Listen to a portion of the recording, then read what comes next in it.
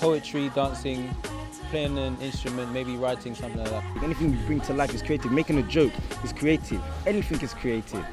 Express yourself in a way that not many people can or yeah.